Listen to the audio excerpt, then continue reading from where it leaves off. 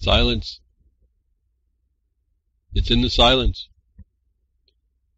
Your destruction is in the silence.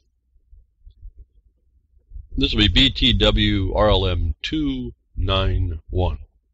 For all you all on past cast, post, podcast, whatever uh, cast you have, last cast from last week, just get the content links. You can read through where I was starting, and a lot of those links have other links. And what I ask you to do is to search it down. It gives you a place to start if you didn't have a thought, but you found out you want to get involved. Stop the harm against you and stop being an accessory to it. Stop being an accessory to it. So I don't know where all this thing came down through and out of time of man uh, that we were going to be involved in this fight against ourselves, but that's apparently the reality. And until we get to the point where we understand a little bit of that, whatever the psychopaths with a plan have is going to prevail. And so I've asked you to, because we weren't really told about this. Oh, we had some some education, so-called, about how to approach this, but they didn't put a tie. They didn't tie anything of importance to it. And we can step back in our even our indoctrination, and we can find the tools that they gave us and bring them forward, and focus with on a problem, and we can. I believe we can get it solved, and I say I believe that because those are the people that I work with. We do that. It does take a while, but I think that's a problem of not enough people quite getting the getting the point and uh, they think they know the point. And we hear this all the time. In fact, I've also been involved with helping uh, where uh, people come with good intention, but truly they just don't understand. It's again, it's really just just take the the thorn out of my paw response. Just get it done, or get off of me with your harm, and I want to stop it by doing this. And there's no really understanding of what the dynamic is or what what's actually to, to happen. That I've been involved with a couple of uh, I can say we end up making them proclamations because there's not not as much force and effect there to allow people who think they who are coming in good good good cause and good faith, but really it's not a problem that the that the government can solve that isn't already given to people. That I've been involved in uh, proclamations that at least satisfied the one who brought it, but really was wasn't going to do, do him much because there was wasn't much there to ask. In other words, something already in law that's being disregarded. You don't ask for you don't ask for that again, and then expect to be enforced. When it, what you do is you have to then have have the origination of the right or the con condition enforced, and that's a different problem. And so we get a lot of people doing wrong things, and they cause a lot of work that isn't right. You have a lot of people doing things because they just want the pain to end. You see a lot of these um, state, well, I want to create a new state type problems. The the information I have and the people I deal with and the people I've asked and talked to, none of them have ever even read their admissions acts to understand how how a state gets created or what it would take or what the obligations are, what the existing obligations are you're walking into. And they don't have a people don't gen, the people generally do not have a an idea of what's been before them. In other words, even if it, we were going to be making a big quantum jump, they don't understand anything about the fire or the conflagration they've been living through to avoid that fire when they jump out. Where and then where they jump to. And so there's a there's a fully a lack of actual thought about this. It's really just a response to pain and we kind of get to get we got to endure the pain while we're working through uh, uh, some of this if we intend to see a better future for for for people. I don't even know where that comes from, but why why would we care about that for when we're not here? So I don't know. I guess everyone has that that to ask themselves, but seems to me if you have a thought about it, then you must care a bit, and that should be enough to, of a seed to start something because it can't be that good that you allow crime to be around you and then that reflects on you. I don't know if people appreciate this this dynamic. And and so we have uh, I think we have some things to do. I was not I'm not able to go and do what I was thinking I wanted to do. I've never really have. I finally come to terms about that and then I finally realized it was there's causative effects that are uh, co- excuse me causative forces that are there in a number of different dimensional areas, and I don't mean esoteric dimensions, although that comes into play as well. Eventually, you finally come to that point as well. But we're in the realm of physical, and that's where we have actually a power, and the things that are brought upon us are in a fabricated, in ideas and notions. In other words, we talk about all these concepts that we hear people bringing on, and we and I tell you there's a mechanism. One of the mechanisms is through this alternative dispute resolution, and it's through consensus, and that's all just a fabrication of a reality that wants to. Some people are going to take advantage of you, and if you allow that, that's no different than an invasion and they win if they get to do it. And they've been pretty diabolical how they do it, but I've told you that it's it's it's addressable, and that addressable is by you being the witness against it. In fact, not in your feelings and emotions, because that's where they that's they invoke the feelings and emotions. I've told you over and over and over from their own documents. These people use this method, they tell you what they do is not lawful, not constitutional, not not even in this legal. It's completely foreign to your way of life. And so how do you defend yourself? Well, you make sure you, you at least agree to a way of life that you want to defend and defend it. And at some point I keep showing you that, I don't know, you don't have to accept this because that's just your, your, your choice. But if you watch a crime go down and you don't arrest it somehow, you're just part of that criminal. So I've asked you to do some simple stuff, uh, like get involved on the administrative side of the world that we're living in, which is seemingly driving this thing. I believe I brought quite a few formidable responses to all that, all situated in an objective basis. I use that objective basis is what most people say is the law. It's the black and white written down that we can rely on, that no one, because it's black and white, and this is the reason why all evidence is reduced to writing. And when it goes to black and white, there's an objective um, memorial done to what we're all, what the point is, what the subject is, what the what the object is, not the outcome, the object that to be fulfilled. And then I further found that law of land, the land law in the country United States of America, truly is unique. And that's kind of hard for people to believe because they're all caught in the paradigm of taxation and they don't know how to work themselves out of that wet paper bag. And so I look past that and I say, okay, what's the way it's supposed to be without that adulteration? To get an idea of what it was supposed to be. And it's still there. And it's there for anybody who looks at it and asserts it that way. It's, it's there. When it's, when you assert it that way, the only thing you'll find coming against you is the criminals. And those are then easier to out. Now you can focus on that. Again, the objective basis doesn't make accountability, it doesn't make it doesn't make criminals go away. No, the criminal is still there.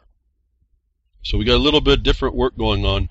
And again, you my, my, I'm pretty certain about this. We uh, we witness a crime. In other words, we just complain about a crime going on. We're, we're just an accessory to it. And if that's happened against us, well, we're just an accessory to our own the crime against us. We are now consenting in a different way to get at that, the silence, the non-response to crime. And then what do you expect in the world if you're just going to walk, uh, keep turning away from every point and turn of uh, every departure and, uh, of, of crime? What do you expect?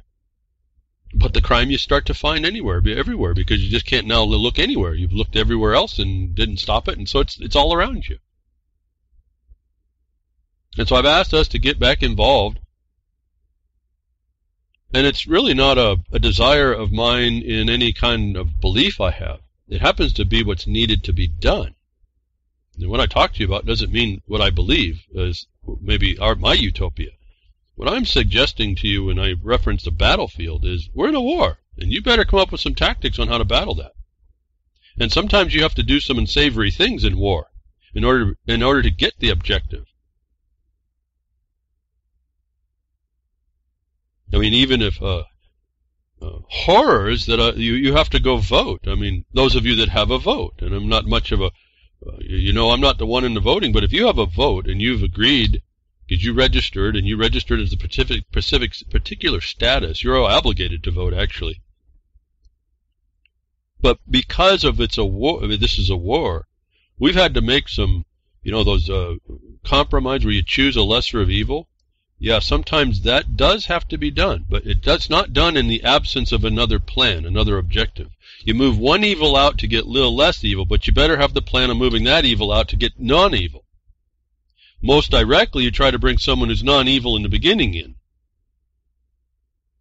And that's happened in a couple of places. So despite my, and I know we're coming, oh, that's where we're coming into that vote time. Everybody's got their, uh, their black and white view of this. Uh, we, I look at it now as an opportunity locally.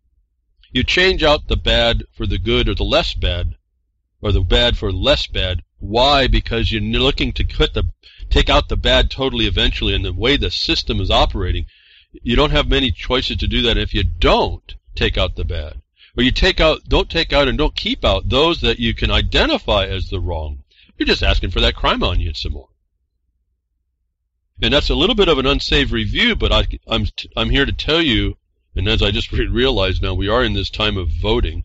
Uh, if you're local and you have something, you have a, someone to put in office, you better put them in office. Someone like myself can use the good, the good officer. And that, or the, the one that's not quite as trident as the one before. I told you before, not much on this election, but it, if I, if we could remove uh, the uh, Obama and put even Trump in, that would relieve us of a lot of things as producers. That was just a private, personal, excuse me, a private uh, uh, objective for my own sake was that we needed the pressure off from those in the what would end up being a Democratic Party. That's how we can identify that side. But these people were hell bent to bring on uh, an order that you don't understand that we had no chance against. That we wanted that we put Trump in. It wasn't because I'm liking the guy.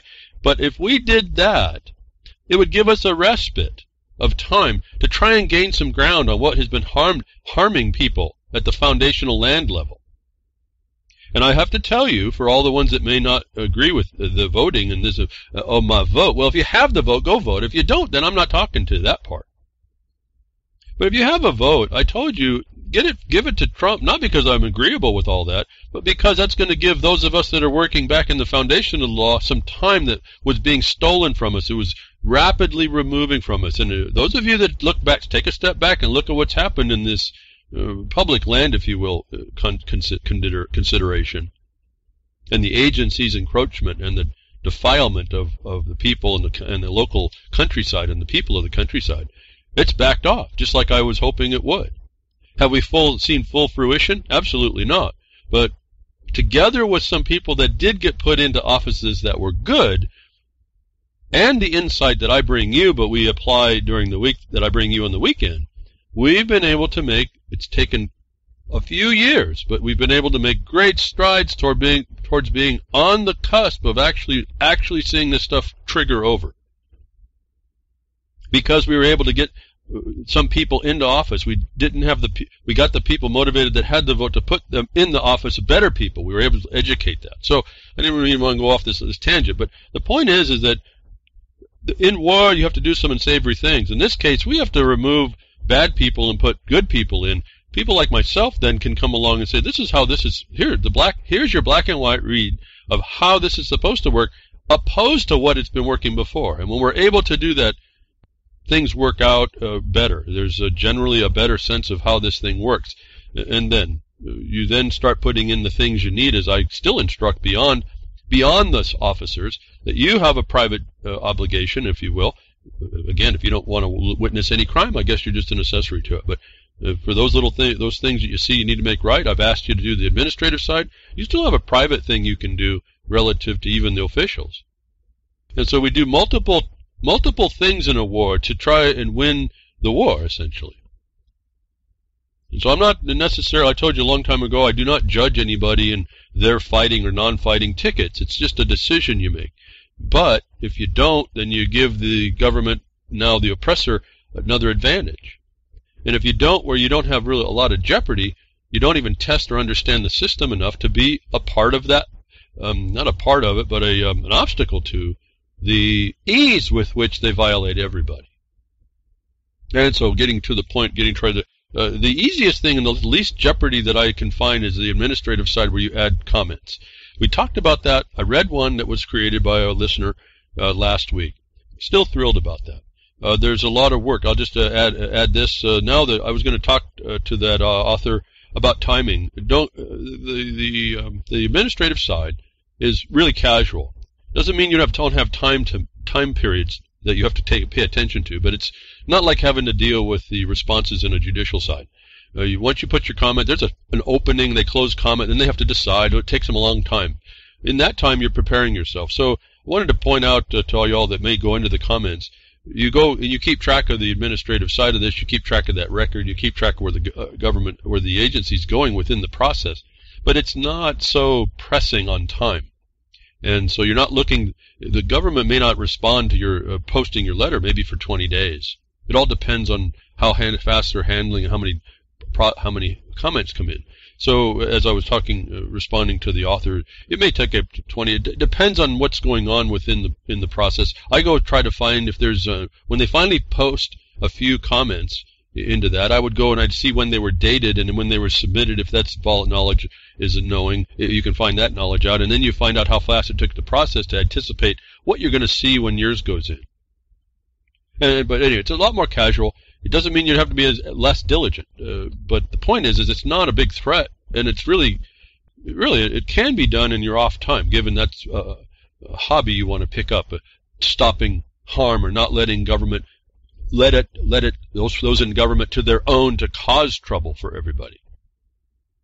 And I think I suspect that as we get more practiced in that, the more difficult things start to become a little bit more knowledgeable. Sitting on the sidelines, you'll never understand what I'm talking about and I can just guarantee that to you.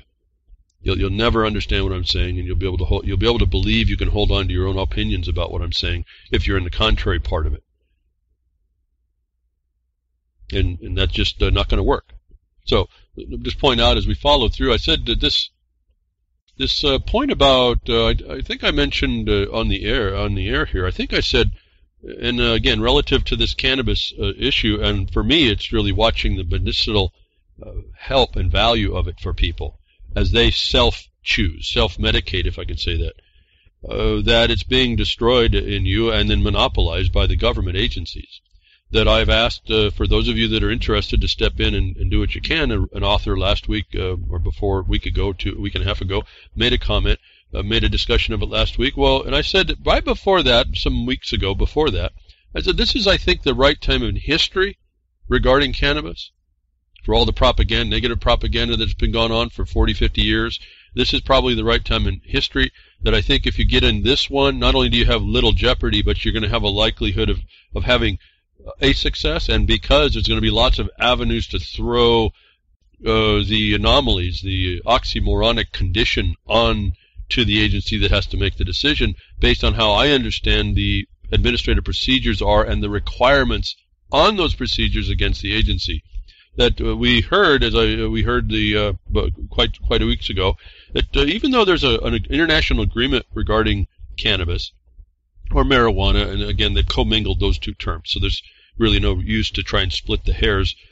Just in a general conversation, you might be able to do it in more specific, as we would hemp, uh, and and and so we could you could do that, but it's going to take more. Is is uh, we found out even though there's international agreements that two countries decided they weren't going to participate. In particular, we reported I think last week Canada has opted out, and we're going to do now uh, what they call recreational uh, and or medicinal marijuana. But I told you, watch out. They legalize it, you're not registered, and you're going to be registered and tracked about how you do that. So that's a legalization problem, right? And I said, don't do that. Don't decriminalize. It makes it sound like, oh, you can't. What do you mean don't legalize? Oh, what do you mean don't don't decriminalize? Yeah, just get off of the weed. Free the weed. Just get off of the regulation. And now guess what? Take a look around the world. Is there's nothing going on. Well, the world has decided in the UN and the WHO, not the OWL, not the rock group, but the WHO, the World Health Organization, has decided to condemn cannabis. And there's been international agreements that we will abstain or that it will recognize it as a harmful drug. And then we found two countries that didn't agree. Well, I told you on the right side of, on the history here. Uh, as we now see, Mexico's Supreme Court says ban on recreational marijuana is unconstitutional. And so here's another country that is going to go against at least their judiciary, and I would use it this way, notwithstanding what we say about the rule of law, we go ahead and use the the authorities that take we can take advantage of, even though to me this shouldn't even have to been said. And if you look closely, it's actually not been said correctly But for our purposes internationally, and what the author was writing to last week, or the week before that, was an international sense that here's another country that's not believing that agreement. Something's amiss in this perception that uh, they've said that you can no recreational. Well, that's interesting. And I, again, I, I, have a problem with this word recreational. Uh, what about just private use? How about we just go to private use? Forget the rec. Whoever came up with that didn't. Uh, people didn't understand the double speak that that meant, and di- people didn't understand that, that, that they trivialized it in order to uh, get people to agree it's something to do. See, what your private use has nothing to do with putting a title on it. So I would say we would advocate against this recreational. When they get it into recreational, they now create it into a, a tri- almost trivial use. And so they get to continue to watch the regulation, which happens in this decision. But anyway, the, the cover of this is now Mexico's stepping back. Judicially, they can't even ban an absolute ban. See, here's what they start to do. It. That's how they did it to the minors. Oh, we can regulate a little bit. There can't be an absolute ban, like on your guns. There can't be an absolute ban but we can regulate it up until the point where the courts finally say, "Oh, that was uh, that partial ban was enough to be absolute." So you you, you get them meddling. You got to stop them, allow them from meddling. And in Mexico, I don't know what their land law is. Uh, so I don't know how they could do this, as I was suggesting to you, production.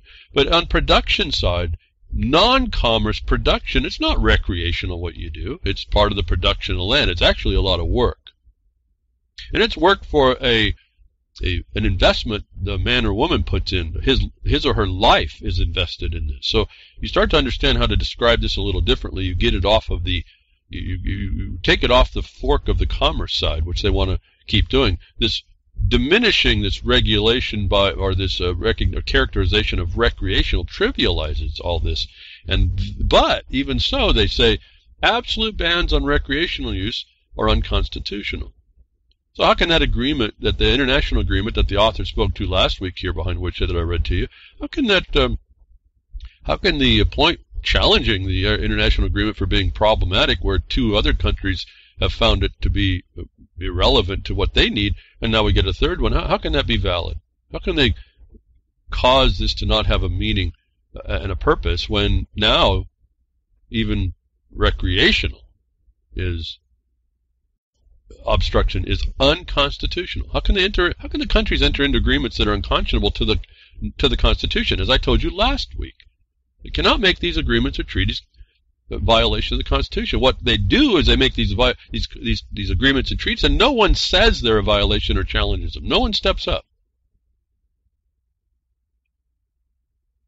So, announcing it had found in favor of two legal challenges filed against prohibition of recreational marijuana use. Mexico's top court crossed the threshold needed to create jurisprudence, five similar rulings on the matter that create uh, a precedent in the Mexican courts who will have to follow here. The historic, this historic day. Fernando Belaunzarán, an advocate for drug reform and member of the opposition leftist party and the Democratic Revolution, PRD, said the Supreme Court made its first ruling to allow a group of people to grow marijuana for personal use in November 2015. I think I reported that behind the woodshed. In a statement that this is a follow-up uh, decision. In the statement, the court said the ruling did not create an absolute right to use marijuana and that consumption of certain substances could still be subject to regulation. But the effect caused by marijuana does not justify an absolute prohibition on its consumption, it said. The court ordered federal health regulator COFEPRIS to authorize people authorize people seeking the right to use to do so personally, quote, albeit without allowing them to market it or use other narcotics or psychotropic drugs. Well, those narcotics were the ones that were legally authorized that we saw cause problems when people used cannabis together with it, isn't it? So that was pretty fair. But remember here, they albeit without allowing them to market it. Well, I told you would, all producers, all farmers have right from farm to market in the United States, so this would violate that provision. So you start piecing this apart of what happens in other countries relative to American land laws, and you're going to find United States of America land laws, and you're going to find out that this uh, can't hold up for personal. But see, personal is in the context of business. And so we have a, I can parse this out pretty well. I don't want to waste a lot of time here for people that aren't interested, but want to, I'm just trying to talk to you here to let you know, have an, here, here's an insight on how you parse this through to see a foreign countries even letting so-called recreational through. But they preface it on this, it's on a commerce side. And I'm asking you all to, anyone that wants to engage, engage it on also, bring up the production side, particularly the United States of America with when the patent you show as evidence it doesn't have a reservation against the production of hemp. At least hemp. Anyway, so I guess there's enough here. Uh, I'm not, uh, again, I'm not promoting any of this. This is a plant. Get off the plant. Stop legal ID chrome. Stop it. Just get on to something more important now. People are finding use in it uh, notwithstanding what the officials, experts say, which we then can tie to corruption and infighting and the revolving door, at least in the United States of America, of the of the agencies who can't make up their mind whether it's got a medicinal value or not, but then make legal monopolies in derivative synthetics. Think about all this. And we set crickets to this. Just blows me away. How, how much easier, it's not even an argument if we just laid out the facts, like I hear lots of people can do in the chats, they do it. They just don't apply it in the right spot. You talk in the chat instead of on a piece of paper and send it to the right the right one to give you standing to take all you know and, and apply it against someone who's trying to get uh, trying to make a crime against everybody, everybody, not just you. And then those of us that I, I don't have a lot of things to do, I'd get involved with stuff. I, I have no interest in a lot of this stuff. I've gotten too busy with what I have, but I'll still make a an attempt to give some uh, uh, guidance, uh, at least, to get somebody to do, to be able to do something that I can't do. And here we have, a, we could work together. No, we don't. We rather argue amongst each other. So anyway, uh, for maybe in particular, you can't do this on last week's uh, comment, but you hold it back. You say, okay, you had two, and then when it might come, it may come up. You can actually say, well, in the meantime, now Mexico's now recreational. The problem is, let me go and highlight some of my, uh, again, I can point all this stuff out as I go, but remember, the one who promoted this was an advocate for drug reform. Uh, when you have that one, that one advocating for drug reform on, on cannabis, are you ever going to have that guy remove it from, from a drug scheduling? Likely not. And this is the problem I keep pointing out. You got to be careful on who becomes an advocate for what. And then why, and then the underpinnings. So as I was comment, commenting to someone about the uh, an or, a meter uh, fee opt out charge or a, a, re, a, meter reading fee, I said you can't argue about the fee. You have to go into the rules, the American, uh, excuse me, the Administrative Procedures Act, and you have to find where they violated a provision of that act, and you speak from the fact that they violated the provision of the act, and so you don't agree to they have a right to have the fee. Because when you go argue the fee, and you don't argue that they were not supposed to impose the meter because they violated the rule, then you agree they had the right to put the meter in. You have to think this thing back through. Everyone's the ones that I go, oh, I critically think, I'd use the trivium. Nonsense. Nobody does anything. They just talk about it. You got to keep stepping yourself back to the foundation of this discussion and the point. And when you do that, you, you, you have to leave behind the Commerce Regulation Authority of the of the government. Now the government's gone. I don't know if people understand this. You want to get rid of government? Get outside of its authority. It doesn't exist there. That's how you disappear the state. People don't get this. They think I'm talking about engaging the state and, promoting it. You, you haven't got the concept. Get outside of what it can regulate and the government disappears relative to you. Is that clear enough?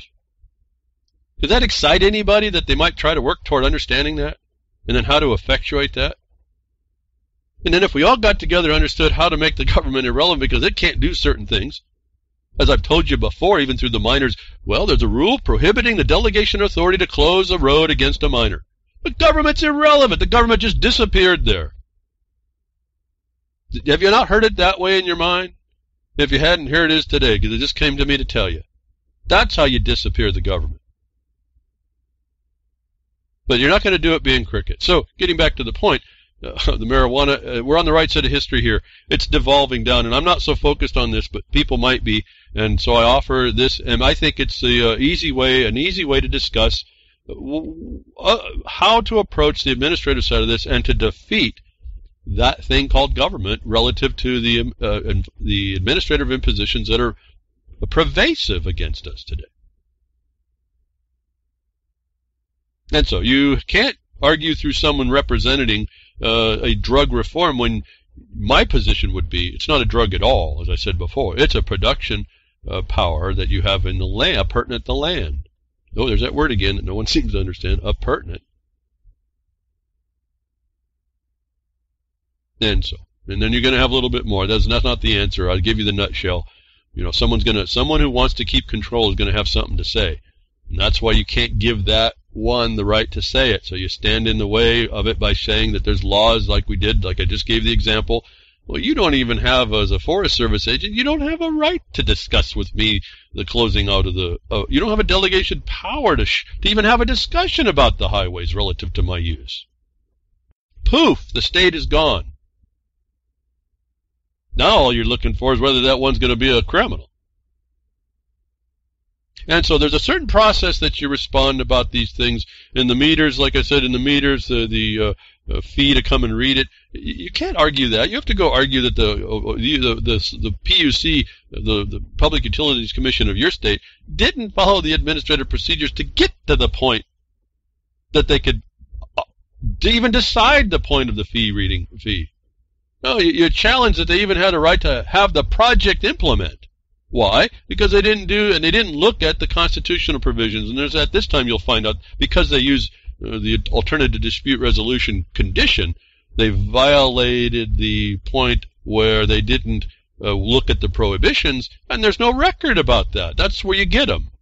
The fact that they're coming in a second and third time to discuss two and three things that shouldn't have been going on that as the public uh, the public generally the people and the companies get together and they start seeing a problem in it shows it's a facial evidence that they didn't follow the pre- process the proceeding the law correctly in the proceeding.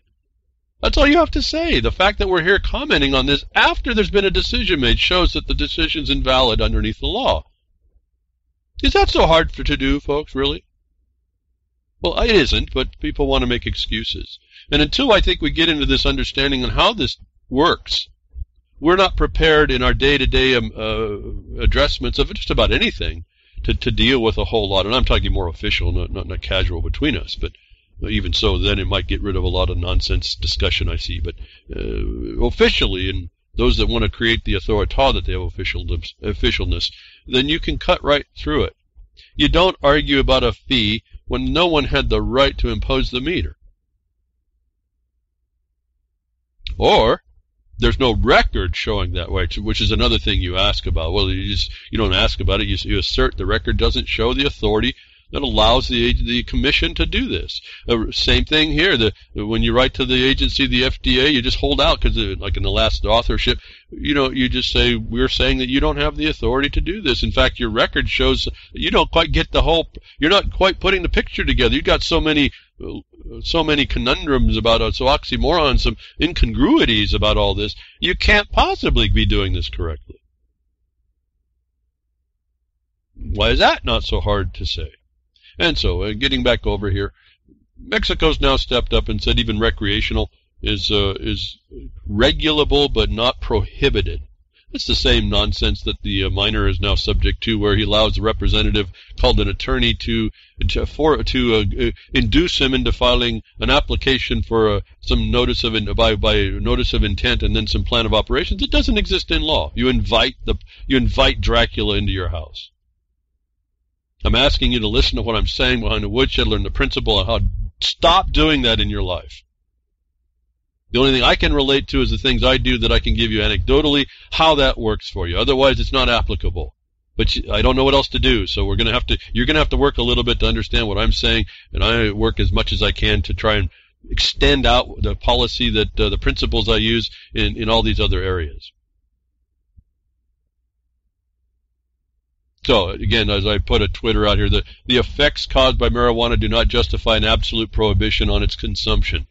Well, did those effects? So you have to go look at that case. Did they actually argue those things? Are they looking from uh, from what was presented and wasn't shown that the effects that they're deciding on didn't include the good stuff? We don't know. I'm just saying that's what they they went down the one path to, to keep control. So this would uh, lead. Uh, the statement in the story says that leaving it to lawmakers to regulate consumption of the drug See, they're using it as a synthetic thing in the legal for commerce. That has to be taken out. Then they make a distinction, albeit without allowing them to market it or use other narcotics or psychotropics. There's only a part of that that is identified as a psychotropic, and now we find out even the psychotropics, in at least or uh, the observation of uh, of the one uh, one thing we talked about last week is that they're re- willing to reduce the uh, psych- psychotropic mushrooms to class class five. That's a use. So, and I make a distinction on marketing it, uh, putting in the commerce stream or marketing it to me. When you have a production right of a plant, farm to market, that's a right. That come pertinent with that land grant to you for the purpose, whether that's a mineral estate uh, that you own the surface to, or the surface estate that you had homestead that you don't earn, the, even if you don't uh, own the dominant or mineral estate, you still have the right if it's not a reserve a reserve thing on your patent. As I've talked to you years and years now, you can find the statutes that precludes any judicial enforcement against that, and you can preclude any administrative enforcement because their authority doesn't rise that high. Again, the delegation isn't that high, and it couldn't be, once you understand. At that point, government disappears, folks. Poof! Government is irrelevant to all that. I don't know why people don't get this. Government's gone when you understand what your rights are and then enforce them against, well, just present them, and then if there's a following a follow-up criminal, you uh, you assert the uh, the remedies to stop that. Isn't that interesting? Everyone's looking to see government gone, and it's right there in the restrict in the restraints. I don't know why that is such a hard thing to understand. You can't do that by being silent. Also, now I go back and uh, how we remember I talked about policies and then the shooting of this uh, Matthew Graves over there in Eagle Point, and that a policy now has to be written on everything to protect us. Uh, another story came in behind that. Again, I like the, the I like the dots uh, to be shown nice and close for people. That uh, follow-up story on that, where I'm asking you to engage the government that's going to come and kill you if you don't do this uh, to make uh, look at these stories where people are dying for no real good reason and for really just nonsensical reasons, if nothing else. And you're going to have to at least be the one to step up to author a res- resolution to that problem in a policy change. That I that I wanted to uh, look at the problem here as, well. Uh, returning to that story a bit, uh, real quickly, it came up in one report. Uh, two two two things that were distinct uh, that again, the jury cannot, as we identify now, the grand jury, which I think is loaded uh, for the government, and even if it's not, it still didn't see this point. This point here came up a little bit later, uh, a day or two later, about the facts that you would look at in order for it to be decided that would bear upon what you how you might describe what the officers have to do before they start pulling down on people and shooting them, whether that's with the taser or not. But in a story uh, it had claimed that the uh, two officers were justified because they thought 33-year-old uh, Matthew Graves had a gun.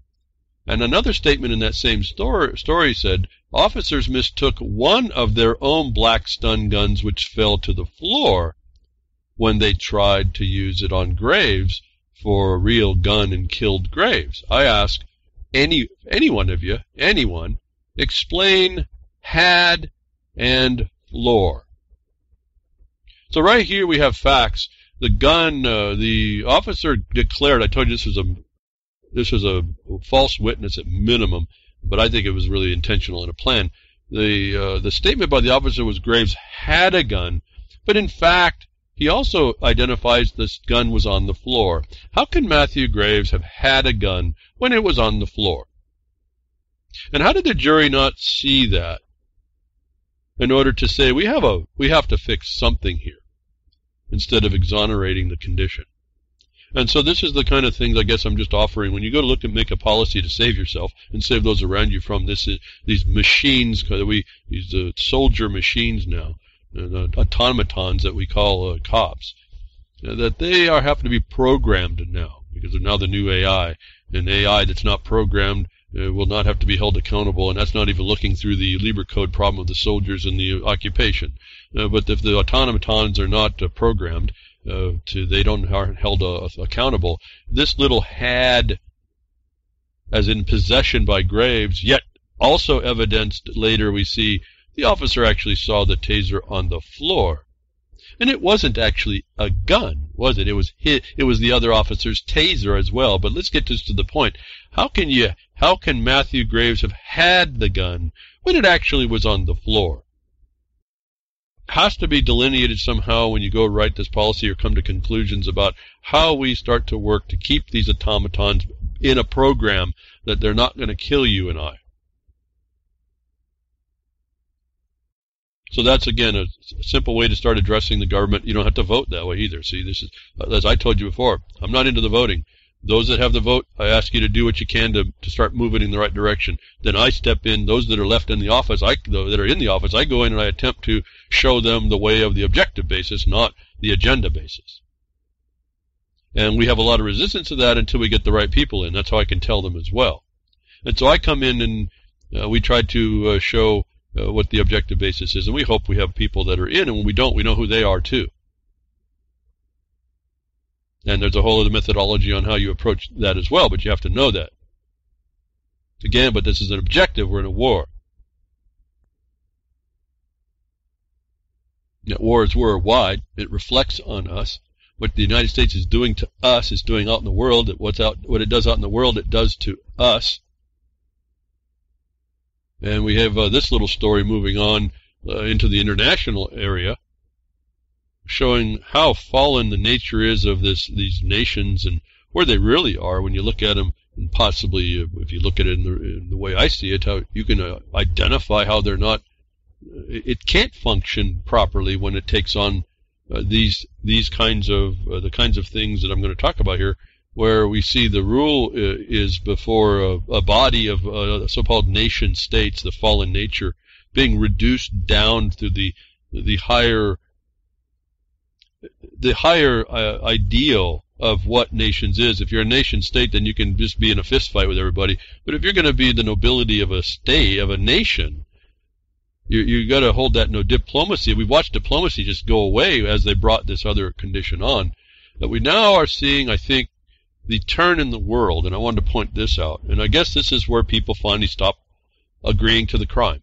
I guess that's why I want to talk about this. Otherwise, in some regard, I have nothing. I can just be like anybody else talking about the woes of the world and how bad it is and all these other things going on and just keep complaining. I want this to reflect about how witnessing a crime and then speaking out and not walking with the enemy of the criminal, with the abuser, is uh, is required. I think we're looking on the world stage now, and I think this is a signal for us anywhere, not just the United States of America, but anywhere, uh, to step up in the proper way to stop being the witness, uh, the aiding and abetting witness without statement. Uh, we see in the world stage only two of the quote world lobby voted against the United States and Israel is us relative to the ban of a uh, uh, banning Cuba from participating in the world. The only two that allow wanted to continue the ban was the United States and Israel. The rest of the world said this ain't happening no more. Now, the laugh, the joke is that's not going to go far. They've done this 27 times or something. The point is that the world is finally stepping up in a big way to say we're done with this. What I want to point out as well is Israel and, and the United States here when was Israel a state? A nation, actually. It's been condemned as an occupier. But the United States and Israel are yoked, and we're told don't yoke with an unequal party. You diminish yourself. And I think we're seeing that right here. It's so diminished. The United States just fell off the map of respectability. And so there's principles to observe in the note in the news about how how this is all happening. That if you don't start to hold what I'm saying, uh, as I see this applied, as I look at this and apply my thoughts to all this, it's just a reminder how important it is to hold your principles in up and defend them or make sure they're there to be to be at least seen. And that, that takes that it goes back to the Lieber Code as well you have to be your own occupation, if you will. You have to do your deeds and they have to be principled. And when you don't do them principally, you fall. And this is a, evidence of that. Even the world uh, stage is not a place enough that, that the, it's playing out so well for this power. The United States is not going to be stopped by this. It, it's really an awesome power, but it doesn't mean it's right, correct? I mean, it doesn't mean that we should be going down. In fact, it was uh, quite a few members of the world body. How Israel is included with that world body, how they allowed that, shows you the the the purpose of the UN actually. But uh, uh, the, it was stated by I think it was the Cuban uh, minister, and I don't remember his name, Perea. Uh, the United States does not recognize the right to life, to peace, to development, or to security. That message was echoed. The United States does not recognize the right to life, to peace, to development, and security. Folks, you look at your life in the world right now. Is that pretty much describe your life? This is coming from a Cuban who was being oppressed, a nation of people that are being oppressed by the same occupier of the world, the United States of America. The right to life, to peace, to development, to security. Your judicial system is an adversarial system, folks. As that didn't tell you. You live under a civil war whether you don't want to recognize it or not. This was a truth spoken by a Cuban. I'm not saying I agree with Cuba or their policies or the, maybe the harm that their government does to their people. I'm never talking about that. I'm talking about the principles that work out here that people can see. That a government that at some point were promoted, even even wrongly so, all these years, and we took on to believe as a white knight, is not a white knight. And then if you turn around and don't can't don't expect that to harm you the same way, you're living in a in a fantasy land. And if you think you can then say, oh, that there's nothing I get to I have to do, I don't I don't care about that, uh, then you're living as an accessory. You're living as the mentally mm, disabled, uh, what the Stockholm syndrome. There's so much that is not good about allowing the criminal to continue, and this comes from our our the roots of our nation and the and the roots of our action. There's many different fronts and facets to how this continues. I try to bring quite a few of those facets to bear on how to address all those all the time. So there's really no excuse in my mind. I, if I can say, I go to I go to bed at night knowing I've done what I could uh, to expose all this, and I'm hoping beyond hope people start taking it, uh, taking an interest in it enough to do something. And again, uh, and it's uh, I can't tell you there's a lot of evidence that they're capable. If people don't even understand what information uh, that I uh, I can provide or friends of mine can provide can actually do. They always seem to answer, respond in a in a way that's not tells us we they don't understand even what they've been handed. It's not a judgment. It means we have a lot of work yet. So me just talking and having a few people to, to listen or you know whatever you do or the 10 minutes you might listen to the broadcast and click away or whatever I don't know the numbers don't mean much to me I don't know what you all have in your head, what you think about, the notes you take. I know there's a few of you that take a lot of notes, and I'm just appreciative you spend the time to do that, and I, I just hope you turn it around and start applying it. That's really the big deal for me is you take what I'm saying, don't just listen to it, but turn around and start to work it out. You'll, you'll, you'll come up with your own stuff, but there's not enough of us that are actually doing that. And until there is, it's a bleak. It's going to be bleak. And we see on the world stage, though, the principlelessness is actually Mm, people don't hold to it too well. Even even even if they are subject to the the ban hammer of the president of the United States and the Treasury, the, the underneath this fiat system. Understand how that's working out too. So, the reflection to me. I don't know what to do about. I just know that this is the the principle, the lack of principle, the lack of moral character that we have in our own country called the United States of America. And I say it's in all other countries as well. Uh, but at this point, it's even gotten so bad that all countries, whether or not I want to have a problem with Israel being a, a nation to be involved with that body, to have a say over Cuba, no less. Any nation, not just because it's Cuba. Notwithstanding all that, the, the, it looks like the tide begins to turn. Whether or not anybody can do anything about it, I don't know. But it's a reflection to us, I think, of how eh, eh, eh, how depraved what we're up against is. And really, to me, it's saying you really need to look at this because this is what has to be addressed. Otherwise, that depravity is us, folks, is us.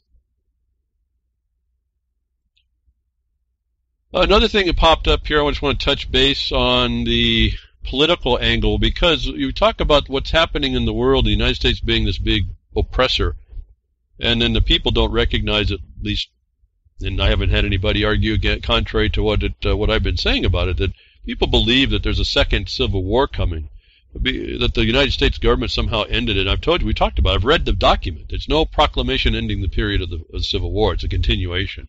In fact, the statement of proclamation uh, was uh, was pretty clear that it still continues. And, and I haven't gotten anybody uh, commenting to me about that, that I was in error in that interpretation that I told and read to y'all and explained it then. Now I'm going to continue to go down the my path and, and support and foundation and principle and research and uh, kind of keep holding that point that there was no proclamation. In other words, there was no end to the Civil War. Everyone thinks there was, but there wasn't. So this new talk, when I heard the new talk, and it's been pervasive, about the new civil war that's being fomented in the country, United States of America, I realized that's a that's a that's a propaganda. People are so so ignorant; they don't even understand that it hasn't been or it hasn't ended. And what that's doing is that's dividing us even further. Uh, the divided house shall not stand. We're still divided, folks. That's why we're not standing. That's why we're falling at the at the we're falling in, at every point now in the nation. It's coming to it's coming. The the the, root, the pigeon's coming to roost, or the, the chicken, whatever. It's foul, folks. But the the the fomentation of the idea of a civil war has really caught my mind, not because of the threat of the civil war, although I don't like seeing it. It's because this is, to me, those that are that actually came up with this are part of the system. And they want to make you believe there's a civil war going on because you won't continue to realize that you're under one and under control. But the idea, nonetheless, is is just as, as dangerous because they will get us to go at each other's throats. And uh, again, I don't know how y- how y'all perceive how I perceive things and when I look at stuff and what I get out of things. But there was a um, a ruling over a death penalty. It was, uh, I think Gary put out, as the first person to get the death penalty of the federal hate crime. And uh, I think this is that Dylann Roof kid. And this is again not to support any of that. I'm looking at a I'm looking at a condition. I'm looking at a condition that looks like it's creating a thing that that the system wants to keep. Uh, it's a bread and circuses, but it's also worse. It's it's a divide and conquer in place. That I looked at this thing, the death penalty for federal hate crimes. The first person to get the federal uh, the death penalty. Won't won't worry about the person, the word, the term. But let's say what it looked like here, and, and when you look at how law was supposed to do, uh, what what law is to do as far as crime and and and judgment and incarceration and all, it's not supposed to be condemnatory. It's supposed to be re- rehabilitatory. And you look to see if that's the case. That when the decision to uh, so-called of the, of the jury agreeing to put someone to death is a declaration that there's no redeeming quality in them whatsoever. That's almost like a double judgment there. None at all. My problem with all that is I don't know that that inquiry was actually done. And because of what we hear about what the kid said, there may be no redeeming quality. The problem now is a political one of what does that putting him to death do when he's very devout in what he said and did. And at that point we had a choice. And we had a choice in order to be careful on what path we set the pop the populace on. And in my case, my view in this, we would have actually done a more generous thing to make a different path. What was the other path? They ordered the death of someone. Now it's the first. This is a big deal, right? This can cause a lot of problem. When you look at what the kid was doing, he was uh, devout in his belief about what he'd done. And that creates a serious uh, dynamic. That when you put someone who's that devout, and I use that word and it's also its a religious context, it's cult context, and you put them to death, you you in, have the high potential of invoking a hatred in those other devotees. And you put this one, the first now, it's already advertised. You raise that devotee in death to the martyr status. And that, that to me is a pro- really big problem when at the same time the beating of the Civil War drum goes out. It's a lie. We're still under a Civil War that's been quashed, but they want to invoke a Civil War in the people themselves, or the mentality of one. That I made this response to the his his being provided with a death sentence. To me, this looks like a plan. It looks like continuation of the plan to foment the division, because there was another decision that could have been made that took him from society so he couldn't interact it, where there wouldn't be any redeemable quality. It gave him the opportunity maybe to have some redeeming quality. He's a young kid. But that the imposition of death, given his devout nature and those that appear to be as devout in the society that are still running around, was a serious miscalculation at, at all, where the judge is supposed to be looking over the society and really looking for what's good as society within the context of the of the of the criminal uh, code. That I uh, made this observation, given his apparent stated devoutness, instead of life in prison, doesn't this, at least, where death means nothing redeemable in him, offer the perception of a martyr? And the protest rights for the faithful is this government promotion of civil war over revolutionary war. Because what we're talking about in uh, trying to throw off the occupier is more of the revolutionary war. And if they get us infighting, that's more of a civil war. The government's already proven it can beat, win that one.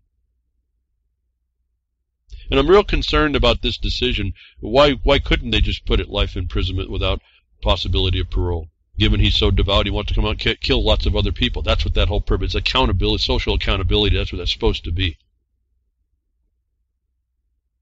I suppose we could have a philosophical discussion on where else to put the kid, but I'm not into that, talking about that. I'm looking at very real uh, possibilities that were being played, and uh, this was one of them. Where they had a choice, they chose death. When they had a choice of life imprisonment, which wouldn't make him a martyr, they chose to make him a martyr. And I didn't realize that until I read the comments that he said, uh, the kid himself. The devout is may not even be strong enough. And there's a whole bunch of people that believe like him or want to believe like him. Now, wouldn't that make a great tool by the government who wants to keep uh, the populace uh, going at each other's throats? And so, whether I'm right or wrong is kind of neither here nor there, except to the point of doing the analysis. Did anybody do, do that analysis at all? Did it come to anything? Will it go there? I certainly can't know. It's all conjecture. I'm saying that the potential is there. And the government uh, gets a lot of mileage on the potentials. Look at what's going on already, and they haven't even started to do, uh, the people haven't even, uh, the government hasn't even uh, seeded much of anything. Again, uh, the, the, the, evidence of that is the memification of of the social networks. You can watch how fast off ideas get traction. Totally devoid of, of any historical actual contemplation or cause and effect or interaction or potentials and completely devoid.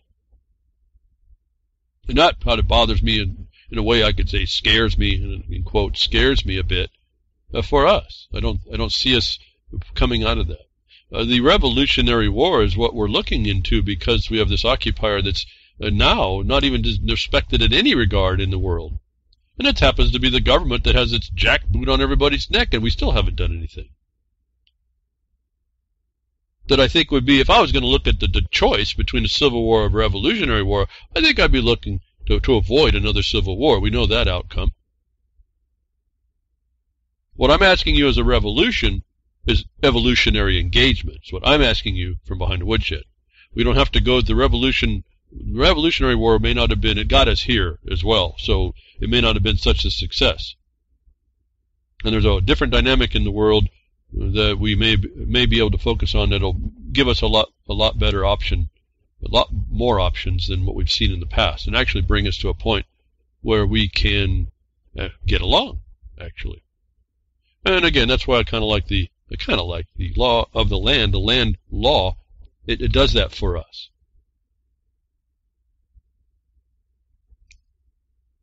And I've just explained a couple ways on how you make government inert, so I don't know what the point is. I don't know why everyone's such against the government when the government's inert to you when you're situated correctly.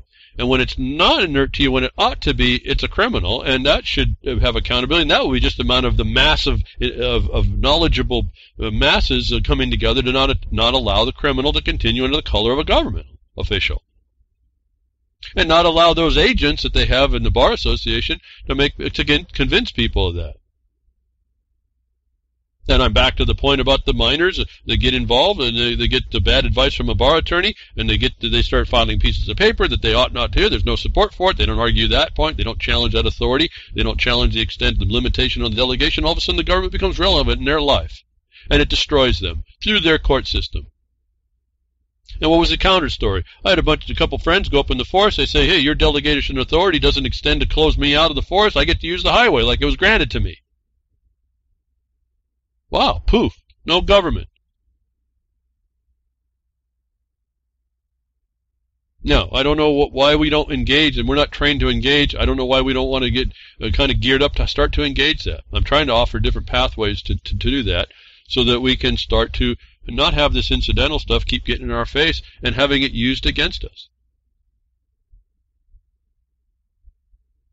If you had a system that was looking out for the security and safety of a bunch of people that want to do harm, why would you give them, hand them a, a ticket to ride? By martyrizing somebody.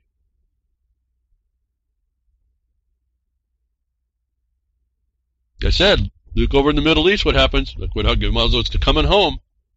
And I think we're seeing a little bit of that right there. So, uh, be cautious on what you think you're seeing in all this. I, I think these are, if nothing else, to me, it's a, certainly a subliminal signal. And the problem with those is that they foment like a like a wound, and they fester, and they and they pus up with underneath the surface. You don't see them until until they explode. And I'd rather live in a more peaceful, uh, predictable place in a way. Otherwise, you you have that just abject chaos that everyone denies is is is is uh, is going on, and they just tolerate it. It's not tolerable, but they tolerate it. So, uh, so another thing coming down, we talk about a bit here, and I I bring this up only because we the con, the condition of the system is to continue the question, and there's a little mechanism in the and we tend to take uh, assumptions on lots of this stuff, even though it's a question and we allow the system of legal to tie us up in these conundrums. And there's a mechanism in the in the uh, remedy in the code to get things de- declared called declaratory judgment, uh, and you can do it for yourself. I don't talk too much about them, and I I haven't uh, chosen to go down that path, uh, and I haven't needed to at this point. And I, I found my way over to the equity side better, at least for the subject matters that I deal with. And I told you you don't deal in question, so there would be no need in my mind to do a declaratory judgment where the law's rights or interests are declared in law. I've been astonished that more people don't don't do this. And uh, this little story brings up my mind here about that. Uh, Arkansas, Arkansas. Well, if there are, if there, if Arkansas, then what about Kansas? Which one's Kansas? If there are Kansas, is now confirmed a permitless carry state. Was a title here. Carrying a firearm without an Arkansas concealed handgun carry license has been a somewhat gray area. So there you go, the gray area created by legal. No black and white. We get to mess with it, right? And yet there's this mechanism in the in the law that they have to recognize. It's one of the older older uh, remedies that you can end this gray area that I think more people need to start ending the gray area. But here they admit there's a gray area. Since the General Assembly enacted Act 746 in 2013, which amended the statute 573120 to state a person commits the offense of carrying a weapon if he or she possesses a handgun, knife, or club on or about his or her person in a vehicle occupied by him or her or otherwise readily available for use with a purpose to employ a handgun, knife, or gun as a weapon against a person. The important part of this is the last part, quote, with a purpose to attempt to unlawfully employ the handgun, knife, and club as a weapon against a person. Close quote. Since then, many people have argued that Arkansas has a permitless carry state was a permitless carry state. But the Attorney General, an attorney, a general, Leslie, a general, Leslie Rutledge, uh, disagreed, stating open carry has legal was legal, but an Arkansas concealed handgun license is still required to carry uh, to conceal carry in Arkansas. Now, I don't know where the right to keep and bear and the lack of uh, and a permit didn't uh, didn't infringe on that because it's a permit. The regulation is a permit, and, and in the context of what you need the right to conceal a weapon is nobody's business that you're carrying, even against the government. But notwithstanding all that, this report is that on October 17, 2018, October 17, 2018, the Arkansas Court of Appeals made a, a ruling that pretty much cemented the fact that Arkansas is a permitless carry state. Yesterday, the Arkansas Court of Appeals issued Taft versus State Taft versus State, which was a, a which is an appeal from a conditional guilty plea. The trial court had denied Mr. Taft's motion to suppress, but the Court of Appeals reversed. Mr. Taft had been go- uh, seen going in and out of a store several times, possibly with a gun. The store owner called it in, and the police went to check it. The officer activated his blue lights when he saw Mr. Taft walking down the highway, turned around, and made contact with Taft. That's T A F F. In the end, the court ruled that it was illegal seizure and suppressed the evidence. The quote that was important here the state argued that the officer uh, Davis seized Taft because he, quote, had to determine the lawfulness of Taft's conduct going in and out uh, of the store and carrying the weapon and acting suspiciously, quote, quote. Merely possessing a weapon is not a crime in the state of Arkansas. They give a quote of a name, provide a quote. The, the, the statement of the uh, the statute states, provided that, providing that a a person commits the offense of carrying a weapon if he or she possesses a handgun on or about his person with the purpose to attempt and unlawfully employ the gun as a weapon against a person. The pause I just made are the elements that they're reading out. As I told you, go look at the elements. This is in almost all states, folks, why I don't understand what the question is here. Why, if you just go look at that, you can develop this for yourself, local to you, and go to a declaratory judgment and get rid of this gray matter area.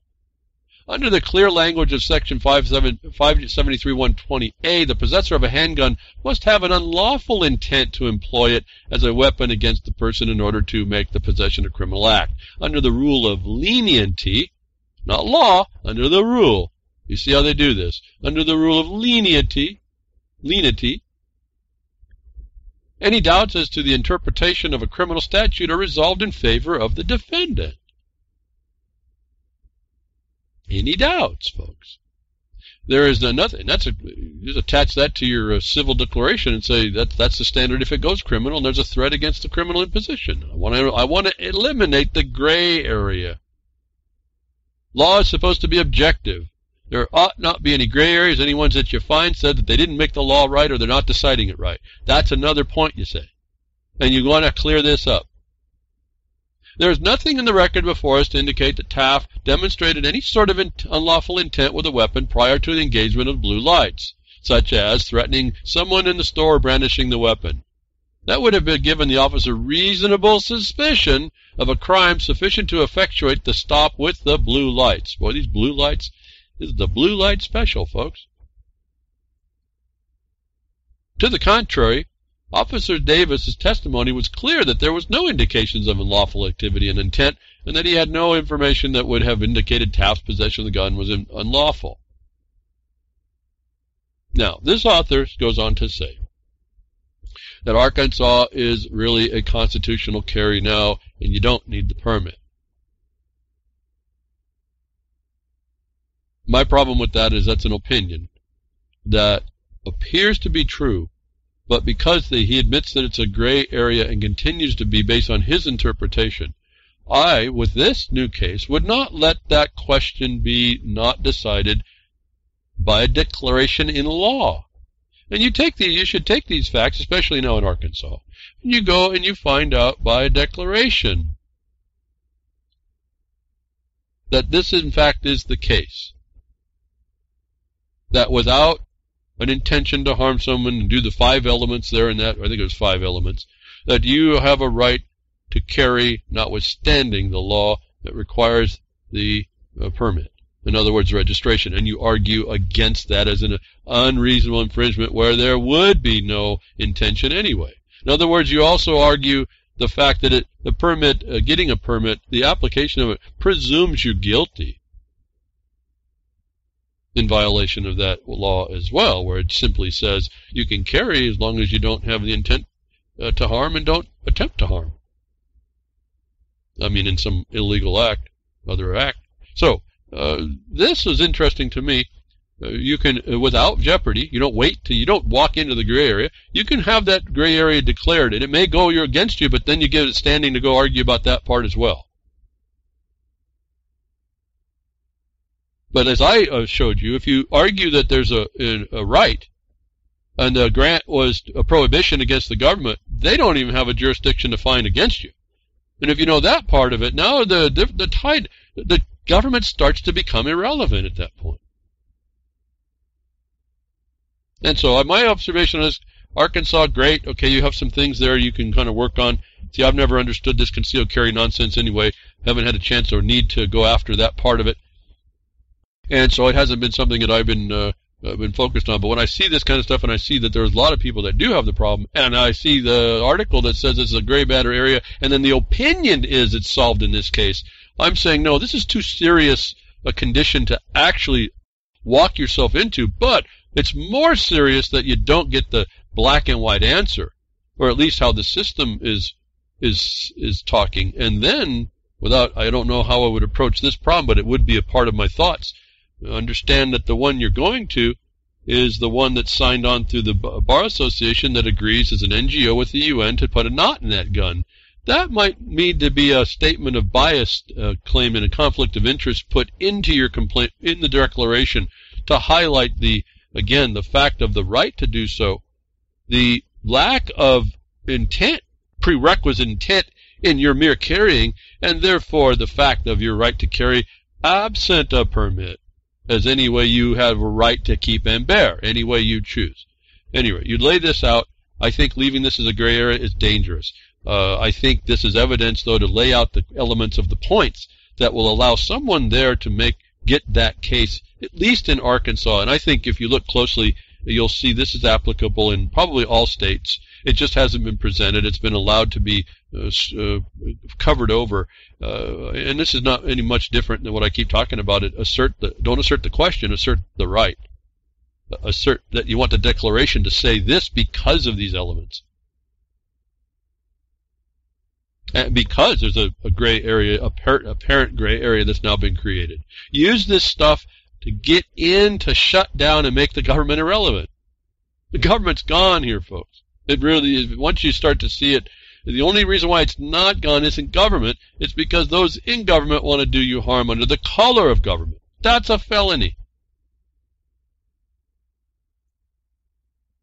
As we move uh, in on these uh, these issues and have to listen to the information and watch. I don't like watching when I hear gray gray uh, uh, gray gray matter, gray areas. I don't like uh, these. Uh, we're supposed to be uh, black and white. It's supposed to be written black and white. Yes, there's some interpretational stuff, but you know when a, when it says uh, like a grant on the patent says it's conveyed to you forever, or to your heirs and assigns forever. I think that's pretty well black and white. When a corollary statute says that there's no judicial authority to interfere, that's pretty black and white. When a delegation of authority doesn't write us up to to uh, interfere, that's pretty black and white. That's the uh, territory, if you will, that I want you all to start thinking in. And then you find all the ways that there's an encroachment by the confusion of that. As we heard our author last year, I'm confused. Here's why. You give the reason. That things alien to the black and white become a problem. The promotion of things alien to the black and white become a problem. Uh, and we are fed this nonsense stuff and we get our mind all into it. And again, there is a lot of talk about a civil war and there's lots of areas of discussion that kind of foment that, that I'm a little concerned, not for the fact of the Civil War, because if we're in one, it'll just be our fighting ourselves. But the, how we get led into, led by the nose in all this stuff is a, is a, when I watch what's going on, it terrifies me a bit. How, how gullible are people that they allow this to happen to themselves? How, how lack of actual critical thought do they have when they profess to have a critical thought? And that's the other thing I'm noticing in some of the feeds. I notice other people that cl- claim to have a, a critical thought do not respond to anything where I point out a problem with that critical thought. The basis of the thought, it starts wrong. I don't see how you can get to a point where you can make an assertion. And I point out the error, I would appreciate a response. Well, you know, you got a point there. Maybe we'll have to relook it. No, nobody says that. They, they just, they just don't respond. So call so much for the social network. That's happened again to get uh, to us. Uh, this uh, a, a, this civil warish type idea, of fomenting ideas that are really not there, uh, making issues that don't. And again, uh, I look at this kind of a lot of neutrality. I'm not even in, into uh, analyzing these people for who they are. We're going to be moving now to Portland, Multnomah County in Portland, Oregon, uh, and they're known for allowing like Antifa to beat up, you know, beat up people and do cause property damage. And they said that when Trump, the night Trump got elected, they were going to allow it, and that's what we've seen. And they're like the hub of what all this nonsense fascism-looking stuff is. But in this case, uh, this was a conservative view attacking somebody in uh, Portland about a decision over an illegal alien that got released from prison, uh, excuse me, jail, uh, the county jail, and, and went and killed his wife. And the, the politics here, seemingly to fuel this uh, this political view instead of the law, the view in the law, was a misinterpretation of what was being said, all to be able to try and blame uh, uh an official, which, when you go and read through it, isn't necessarily the case. Illegal alien murders wife after Portland sheriff sets him free without notifying ICE. Let me read that again because it's pretty. I didn't want to read most of the story, but here about what tale is because you have to read through it to, to pick it through. But illegal alien murders wife after Portland sheriff sets him free without notifying ICE. ICE is the immigration uh, group that's supposed to pick this guy up, who's supposed to be wanted or whatever, but you find out when you go read, instead of the sanctuary policy the author was trying to show, this is a guy that's got 300,000 followers. Uh, the, he was trying to point out that the sanctuary policies are illegal and deadly relative to an illegal alien killing his wife in Multnomah County. He forgot to go read about what the case was actually about, and go read what the provision of the code, the rule now is relative to ICE and this configuration between this uh, res- supposed responsibility between the county government and the federal government.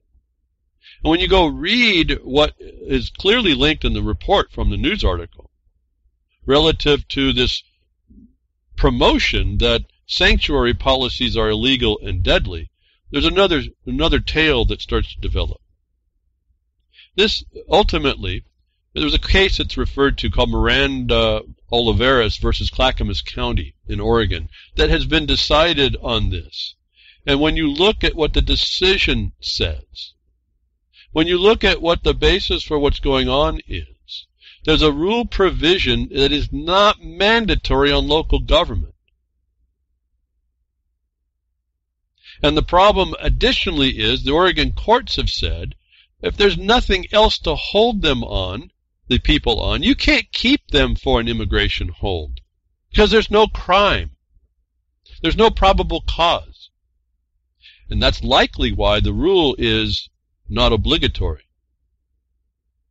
That is completely missed in this story about someone sending, uh, wants to, do, to uh, vilify sanctuary city policies, sanctuary policies, as illegal and and def- and deadly. And in fact, that's irrelevant to the rule that the court cases and the and the president actually speaks to. What we're actually speaking to is due process. We're actually speaking to there has to be probable cause to keep you in jail. And these things are to be held absolutely. That the author of this policy, uh, attacking sanctuary policy, I'm not saying that sanctuary policy, I'm not, uh, uh, I'm not promoting sanctuary cities. There's a whole other problem. I'm looking at how someone is promoting a sanctuary policy because they're against them, wrongly promotes it, and we get into this thing, the idea that sanctuary cities are no good because of this, and it's not at all the case. The law was actually correct. It was the federal agency expecting too much, and the county agencies can't act that far because there's a constitutional rights that are being violated in the gray area that the court has now made not gray, that it appears the county sheriff was actually right. Because you can't hold people that don't have a chargeable offense against them in, in jail, and you can't hold them without bail.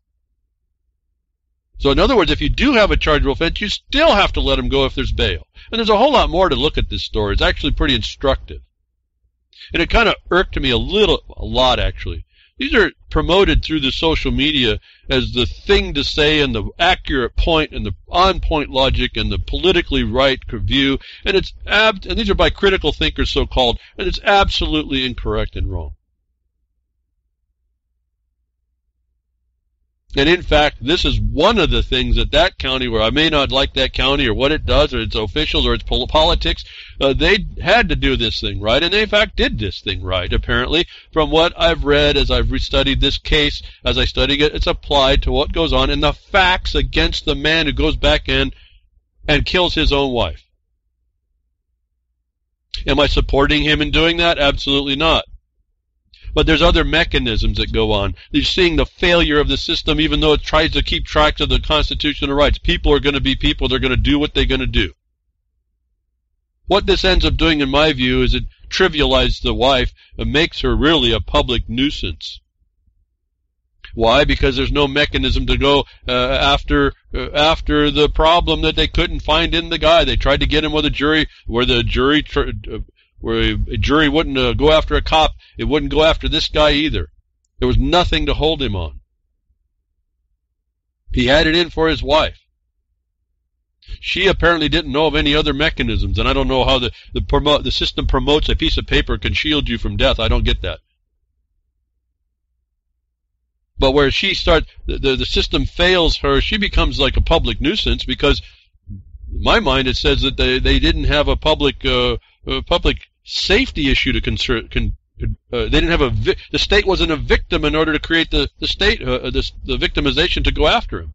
And I looked at that and said, well, that's a lie because they do that on every traffic ticket. The state becomes the victim of the violation in order to go after you because it's a public safety concern. Now, I'm treading down some very dangerous road here, but you see how nonsensical it becomes really quickly.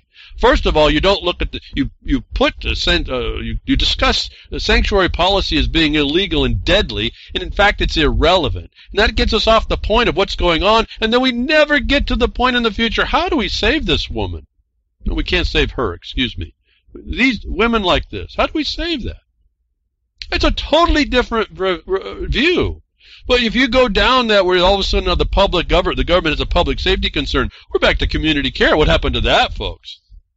See, they only do it where what? You can take all this thing that I talk about, public safety, prosecuting traffic violations, and take all your S's and you go ahead and make them dollar signs. And I think we'll see why. The wife became, a, by this process, became a public nuisance eh, because she's not protectable and traffic tickets are not. Did I just jump too far for people here, folks? See, not a, there's not principles that apply across the board. And I'm not saying that that's going to be an easy answer. I'm saying we allow in our minds, oh, sanctuary cities are no good for this reason, and we go, ah, we, the pitchforks and torches come out. It's nonsense. You're further divorced from the condition. You're further divorced from what actually could have worked. You're further re- divorced from actually solving a problem, a real problem. This is my my uh, problem with uh, what climate change. There may be a real problem, but it's not going to be get, gotten to through a hypothetical relationship to a statistical model. It's not going to happen. And so we have uh, critical thinkers on the internet wanted to talk about how philosophical they are, uh, who want to also make a political point, and they they miss they miss completely, and they and they and they don't even give credit to the people who are actually starting to do it right, or at least within the constraints of the way it exists at this point. Is I guess another problem. No one seems to be rooted in any reality at all, and yet I can pull and extract the reality that makes better sense than the critical thinker might. Doesn't mean that I agree with sanctuary cities the way they're working. But that's a whole, we got a whole other thing to start looking at there. Uh, the, the, they may be dead. This covers up that point. They may be illegal and they may be deadly, but you're not going to get through them through the ICE violating a its own rule.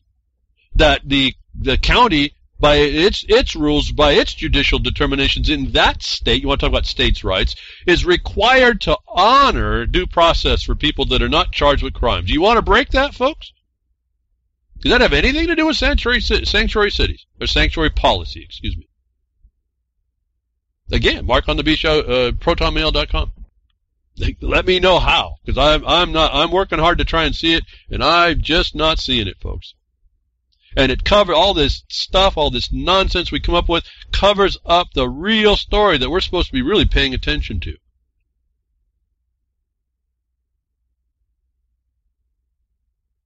Are, you folks? Are you getting that? Are you getting that we do the wrong things? We're covering up the things we need to do. We're taking our time and miss uh, misappropriating our own time against what should happen, and uh, uh, misappropriating our time and our thoughts, which create more misappropriation of time and thoughts.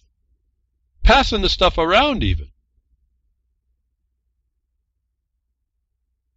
I'm not saying I like what I'm reading on all this case and how this came down, but at the point of due process, and I've been at this point where you have people in jail, and you write, I used to write the habeas corpus, and uh, then uh, they throw your friend out in the street at two in the morning, hardest time to get a ride or anything. They'll throw you out because they weren't supposed to hold you. Why? Because there was no no reason, no probable cause. They just made it up. And at that point, I want that rule to be recognized in the first instance. If there was trouble in these people in their relationship, that's a whole different issue. But let's not throw now on top of this the uh, uh, what appears to be a bad bad move for the states, cities of the states going to sanctuary cities, so called.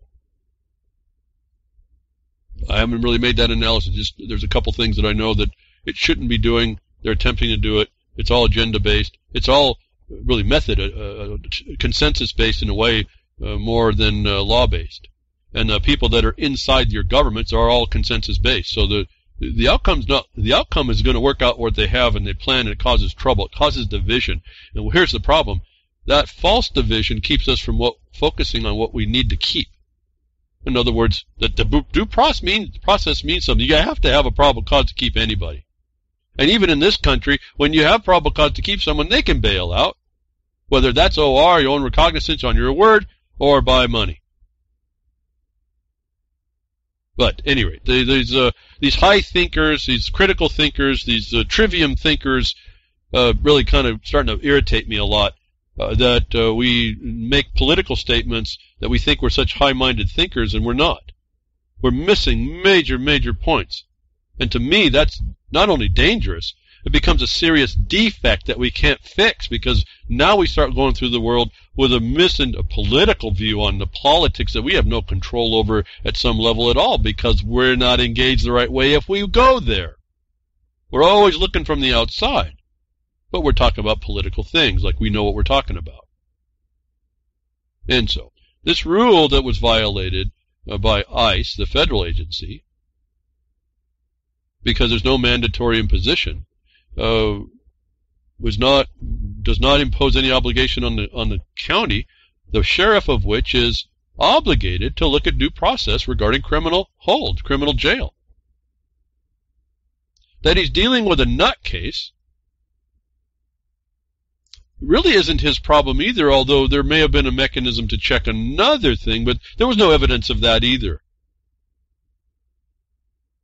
And so we see the limit of the law too here. We see where the government can only do so much anyway.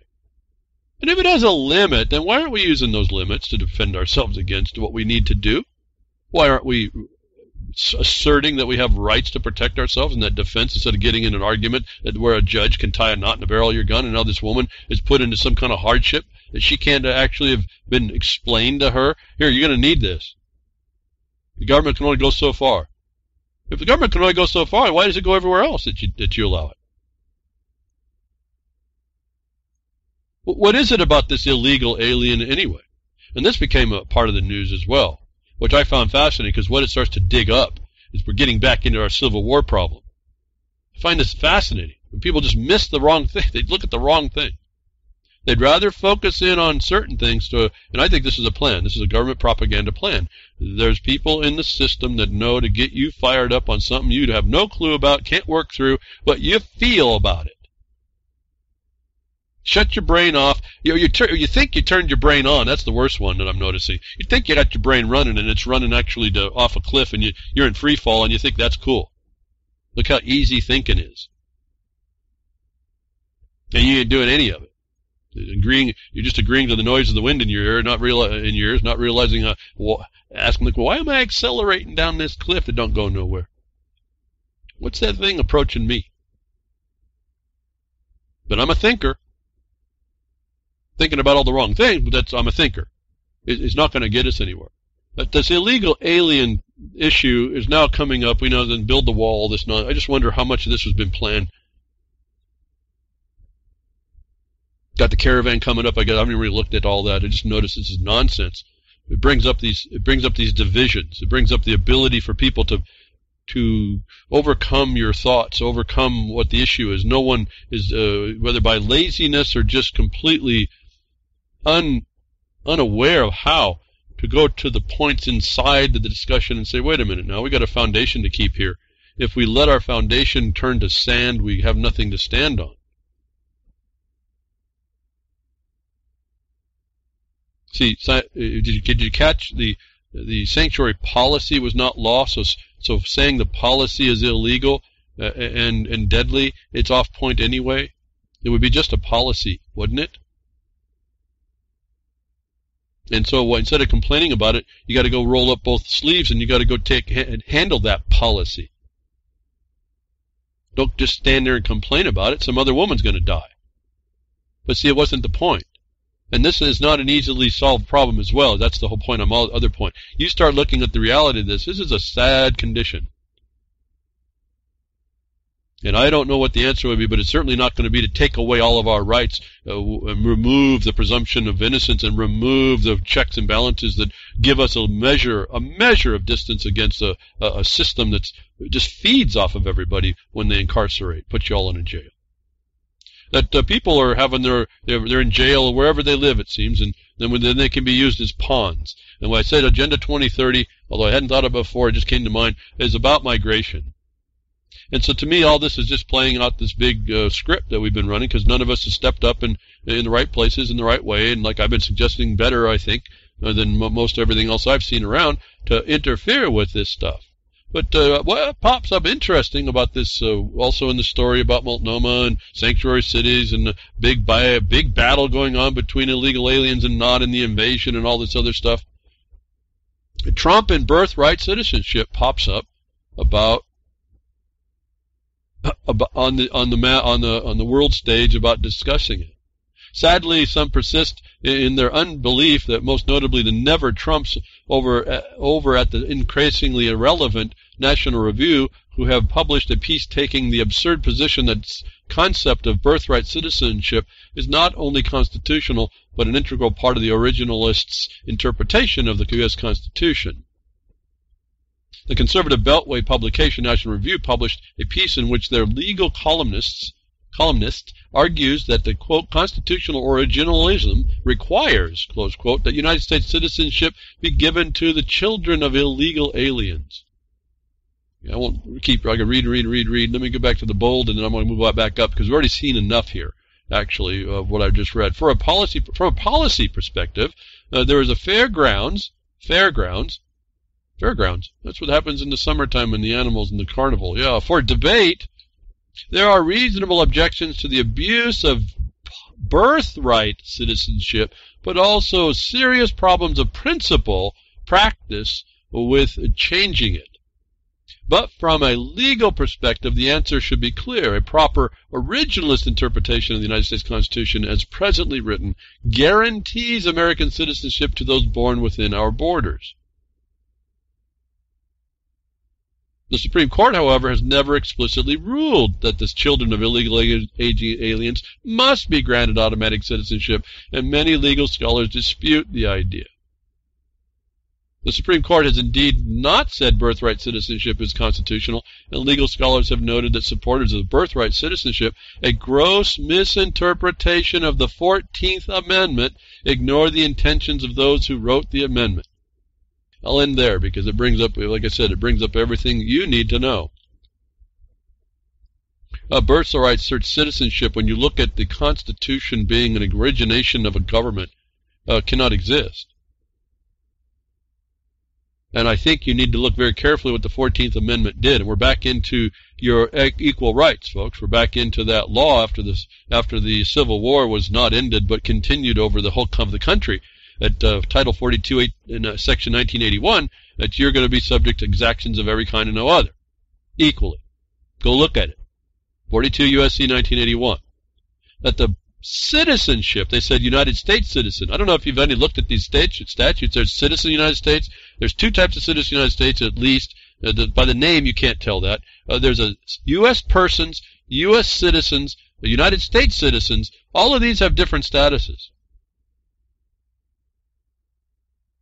I want to remind you that if you look in your statutes, and you may find this in the in the commercial code actually, that your definition for the United States is located in Washington D.C. When you start to put all these factors and elements together, you start finding out that you, there's no such thing as a citizenship the way we have believed that it is. There's no birthright that way. And what my my view on this and what it fascinates me is when you look through this matter, you're going to come on to uh, a couple court cases that are like the Dred Scott case. It's probably one of the hardest cases I've read to understand. But when you walk into it thinking what we were told about citizenship and people and freed people and uh, blacks and uh, by a color, the type of people that were brought in and put into a certain status, you can't understand that case. When you start listening more of what, having some familiarity with what I've been straight, how I've been discussing these things, then you start to understand what was going on. It's how I could point out to you that how 42 USC 1981 exists there as a an imposition to those within the jurisdiction. The status of citizenship of which is not determined like we are understanding, and it can't be. Neither did the government of the United States over there in Washington, D.C., have jurisdiction over the entire nation of union countries. And this is a fascinating study. It boggles the mind to go through it. You can't walk into this one. You're going to walk into it with your own thoughts about it, but those are, though your thoughts about this are likely wrong. And as, lo- as long as you hold those thoughts, it's going to be very hard to understand this. But this question of birthright citizenship is very interesting, and I think it's one attached to the people coming in from the caravan and the wall and all that that are obscuring your study, your better study, to find out what that really is. Forget the birthright. What about this citizenship thing? And we can go through all the discussion I've heard people talk about. A lot of you probably already know citizens just subject in a different way. Who, you know, that's the, what the word begins and ends. You're subject. You're not free. You're subject to exactions of every kind equally in that in that status if you're subject to that jurisdiction. How can you be a sovereign? How can you be free? How can you be anything other than subject? There's a whole study behind this I can't even get into, and I won't get into it here. I don't have the time. It's fascinating though to watch how we've been duped and how we've been able to look past things like 42 USC 1981. What is that citizenship, and what does it mean? We can go on weeks and months and years in discussion, I guess, and you need to understand it. But I find it very fascinating. This is being brought up right now as their invasion of people coming across the border, and it has nothing to do with any of that. No different than that rule has nothing applicable from ICE to the county relative to a constitutional provision, the due process. You don't put people in jail without probable cause, and uh, and if they're in, they don't they have a chance to escape that even pending trial. Why? Because there is a principle of innocence until proven guilty. A bit, isn't there? Maybe not to your pocketbook, maybe not to having to give your word up in consideration to leave as own recognizance, but you do get to have a bit of a presumption of innocence. So do we want to focus on the political nonsense, or do we, uh, or and lose that, or do we want to start looking at the foundation of what goes on? Getting back to the United States citizenship, it's a very confusing kind of a condition. It's a, it, it but if once you start to get a handle on it, you start to come. And I don't know how you'd come to a conversation different than what I've been giving you all these years on how you challenge certain things. There's a status incorporated in that that cannot, it's not birth generated unless you go to the fact of being born in that state by a corporate status. That can happen, but it's a legalism born. It's the fictional mirror, the the uh, this mirror of birth, if you will. Corporations and legal entities and those statuses are born in the state of their origination. They don't issue quick. That's the term for you. But they're born in the state. They're not natural, although they're declared, described as natural to the state. Why you get natural citizenship. But uh, this is a very fascinating study. It's a very uh, convoluted study, but once you get the handle on it, uh, it's it starts to get you start to get clarity on the this is a tool of deception and that it's coming together now with us focusing on people invading uh, the United States. And I do believe there needs to be some buffer. I remember I told you we're like a cell. We have a different type of a of a we have a different type of an existence in the United States of America. We have a different set of laws, uh, no, notwithstanding any of the violations to them. We have a different style of land laws that to me is just the critical part. And we can't have people just invading without some assimilation and understanding about that. No different than a cell in a, in a body. And so I believe in, in like, there has to be some kind of a, a transition period. You just don't invade a space. I mean, it's trans, it's, where do they go anyway? There's no way to handle it. And I don't think anybody's been talking about prohibition. Remember, the regulated, the, it's the regulated entry. You might want to talk about uh, uh, arbitrary borders. Well, yeah, those are there, but there's a jurisdictional powers and authorities for what? For enforcing or for acknowledging or for enjoying certain objective basis we call law. Otherwise, what we have is stakeholders, Genghis Khan and the Horde knocking at your door wanting in. There's no order at that point. No expectation of accountability, no expectation that uh, your life is going to be anything but what others decide for it. And people won't put up with it. It just that's the way it's going to devolve right now. I don't know about anybody's utopian idea, but uh, getting onto this birthright citizenship, it really is a problem because you're dealing in this. Everyone wants to say it's a corporation. Yeah, it's a legal entity. It's been created. It's a it's a tool. It's, it has no citizenship unless you're in it, and there's a certain processes for getting into it. What they do is they attach you in a fraudulent imposition of that style of entity it does control or through things you've used so your voluntariness comes into play and your ignorance and then you don't know how to say but but but wait.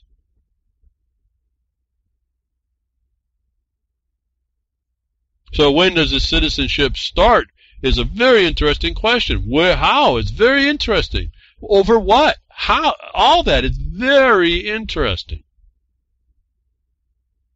and we see the translation from legal fiction over to life, and we get the people that are con, uh, convoluting that. So we miss the point about this legal legalness of it, or over the life of it, and that causes questions internally. Pretty great questions, societal questions. In the same context, they're talking about birthright citizenship. We get this story. Woman who killed her baby has conviction overturned. Court says six day old baby isn't a person. Now, I don't think they actually said that.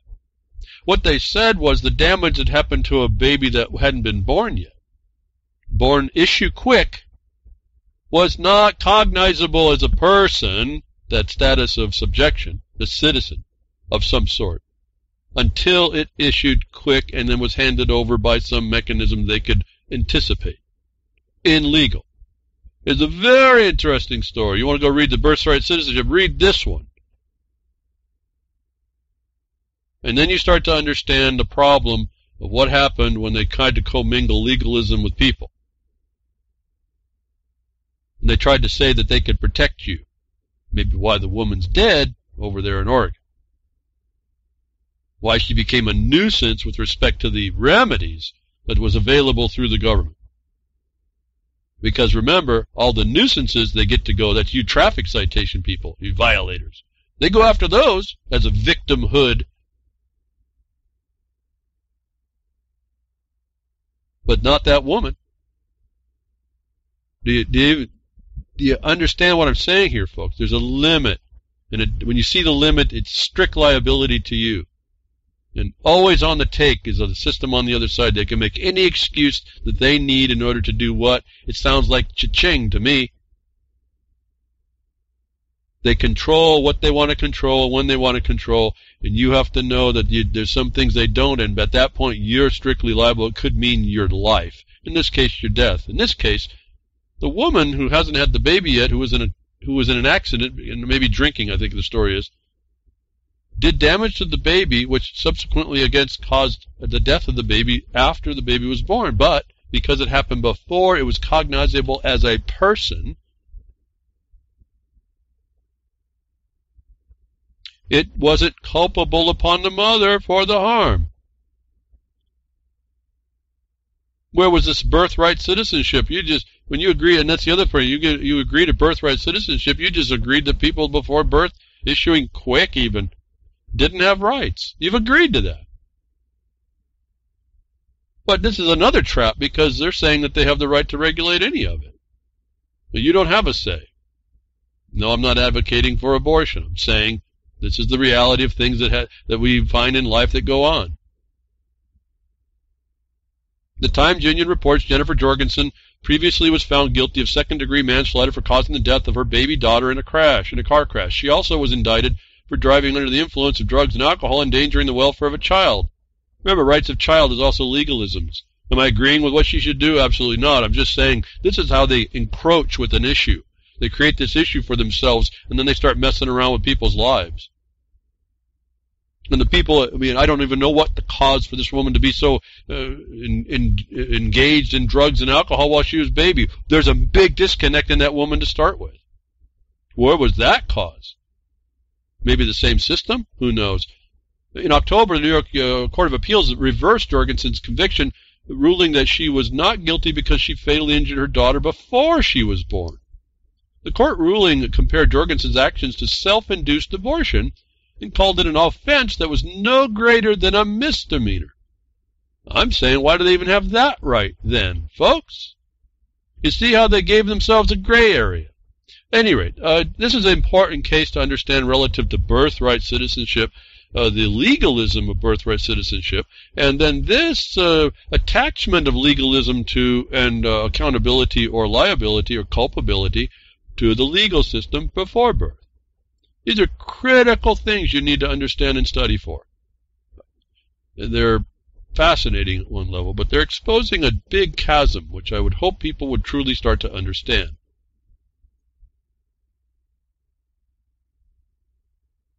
The other thing is apparently they're going to help held her culpable if after the birth, but then you see what the government does over here in New Jersey. Nine children dead as killer virus out, outbreak spreads through New Jersey. It doesn't look like it, but we're dealing with another legalism. Where was the outbreak? What was the cause here? I don't know. Uh, very interesting. But where was the outbreak? In a government licensed facility. I mean, this is almost so much if the so so who cares that the mother killed the baby after birth if they're going to kill kids underneath licensed facilities in New Jersey for so-called viruses. We talked a little bit about this story. It's making it's getting worse, folks. This this, this outbreak. Health officials have confirmed that the the ninth child has now died from deadly virus outbreak in New Jersey that originated in Passaic County Healthcare Facility.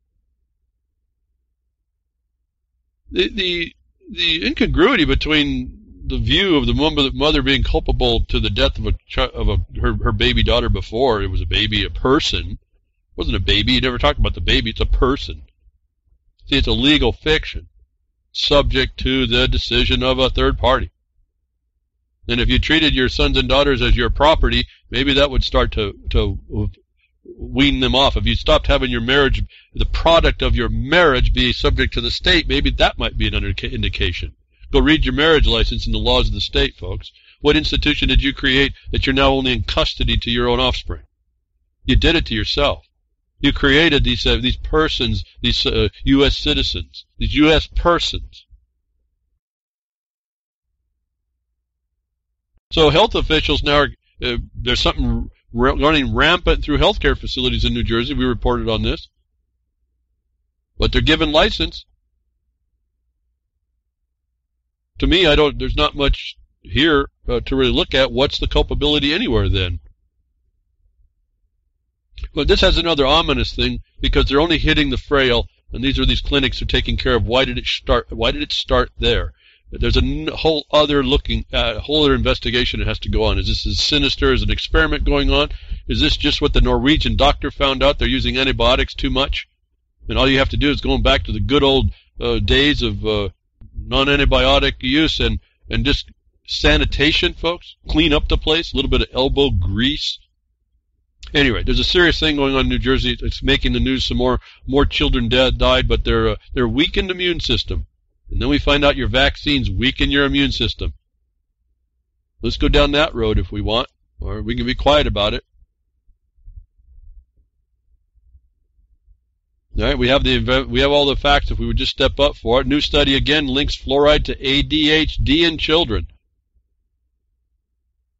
ADHD is one of the most common issues in children these days, according to 2016 data. 2016 data, the CDC approximately two of this from the CDC, approximately 2.4 million children, 2.4 million children, ages 6 to 11, have ADHD in the U.S., and that number tends to increase over time just tens. Seeing as though it's very hard to treat and affects so many kids, wouldn't a better solution be to prevent it altogether? Nice question. So, another story for those of you that want to get on the fluoride side of this, another study shows up, we got a problem. You can pick it up, you can use it as evidence. Hold it up against the administrative position that they have. Go in when they go and find a wrong decision, they're holding a wrong opinion. Reopen that part by interjecting yourself with these facts. I mean, my mind starts to wander. Is the ADHD with the vaccines, or their combination of of uh, these toxic chemicals coming together like a binary weapon? I don't know. Conjecture. The point is, there's a study now. We need studies. Here's another study.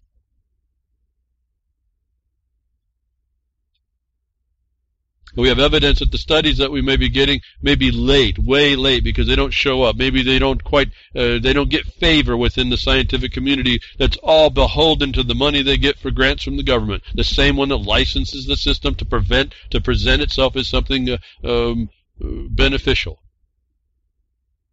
The same system that won't recognize a baby uh, in the mother's womb, and I don't agree with it that she would be culpable of that tragedy. She shouldn't have been doing what she did. That's the price you pay for being, well, not going to. The Darwin Awards uh, worked uh, pretty quickly there. Don't like to hear it. I don't know what more to do about it. That's people making their decisions. They haven't been taught. They haven't been raised right somehow, or they've been affected after the fact, and we can find all the causation for that. All sits in the licensing of the condition, keeping you ignorant all the time.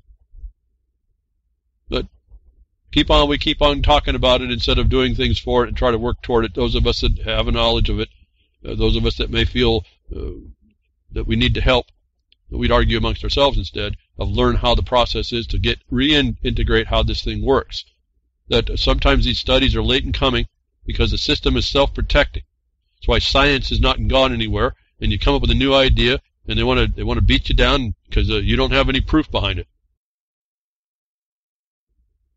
And yet you, they have all the wrong idea, and this is evidence here. So these studies, they're coming late, you got. I wanted to have people look at that. They're coming late because there's an obstruction in the system over that. Why? Because the obstruction to the system that points the system out is is not conducive to the system, is it? And here we have a little evidence of that. And take take stock in this one because this is an interesting little story about we've heard about an Alzheimer plaque on the brain and, and the, the since the like the 80s they've been thinking that Alzheimer finding Alzheimer plaque was the cause. Some scientists with a different thought in his brain had a different idea. An Alzheimer how an outsider bucked prevailing Alzheimer theories and clawed for validation. Robert Moir, Moir Moir, I guess it is, Moir, was damned if he did and damned if he didn't. The Massachusetts General Hospital neurobiologist had applied for government funding from his Alzheimer's for his Alzheimer's disease research and wildly received wildly disparate comments from scientists tapped to assess his proposal's merits. It was an unorthodox hypothesis that might fill flagrant knowledge gaps, wrote one reviewer, but another said that the planned work the planned work might add to little to what is currently known.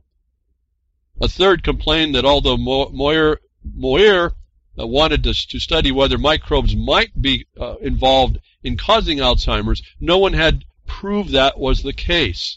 As if scientists are supposed to study only what's no, already known, an exasperated Moir thought that when he when he read the reviews two years ago, he just had a paper published in a leading uh, journal providing strong data for his idea that beta-amyloid, a hallmark of Alzheimer's disease, might be a response to microbes in the brain. If true, the finding would open up vast, vastly different possibilities for therapy than the types of the compounds virtually everyone else was pursuing. Folks, he looked at this amyloid plaque. He said it's in all animals.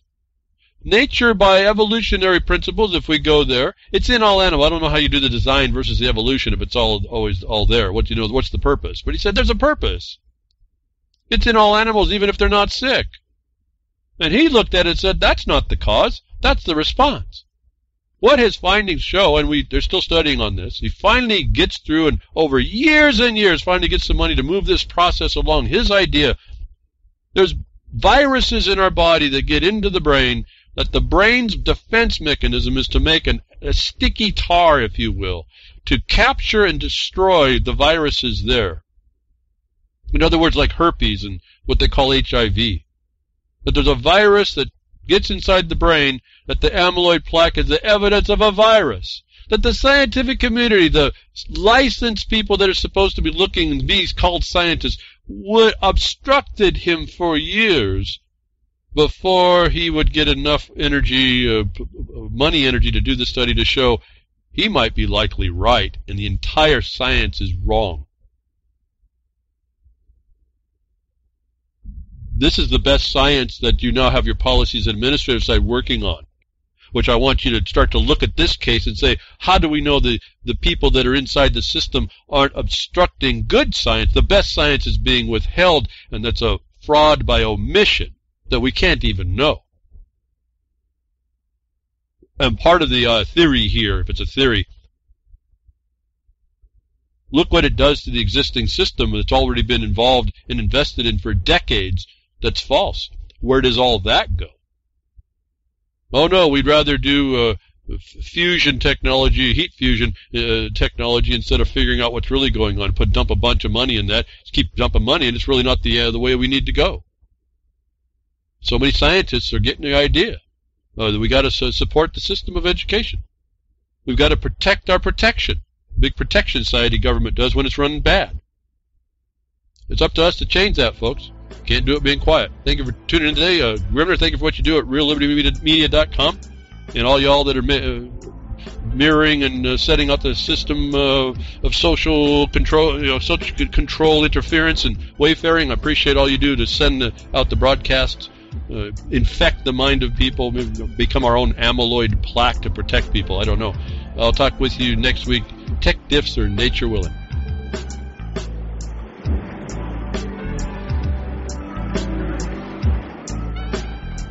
Well, that's another lesson. I hope with today's information you can take it to those that misbehave.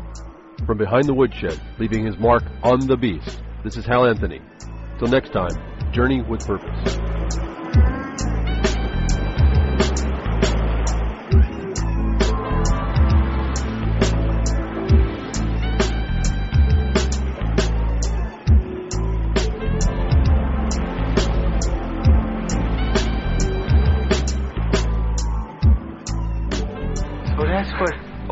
A can of whoop ass feels like.